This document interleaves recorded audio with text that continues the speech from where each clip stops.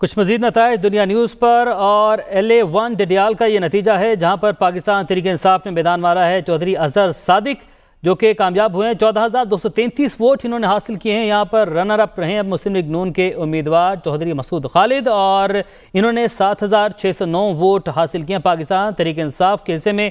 एक और सीट आई है, एक और सीट का इजाफा है। एक और नतीजा आपके साथ शेयर करते हैं और एल ए थ्री मीरपुर का ये नतीजा है, ये भी पाकिस्तान तरीके इंसाफ की झोली में आ गिरा है और अठारह हज़ार छः सौ बासठ वोट बैरिस्टर सुल्तान महमूद ने हासिल किए हैं और यहाँ पर भी runner up Muslim League Noon के ही रहे हैं और मार्जिन तकरीबन तीन हज़ार वोट्स का है। चौधरी मोहम्मद सईद ने पंद्रह हज़ार तीन सौ तैंतालीस वोट हासिल किए हैं। एक और नतीजा, एक और सीट पाकिस्तान तरीके इंसाफ के नाम, एल ए चार के ये हल्का है और चौधरी अरशद हुसैन ने ये सीट अपने नाम कर ली बाईस हज़ार सात सौ बावन वोट हासिल किए हैं, जबकि नू लीग ने टफ टाइम दिया, कड़ा मुकाबला रहा, सख्त मुकाबला रहा। बीस हज़ार आठ सौ उनासी वोट हासिल किए।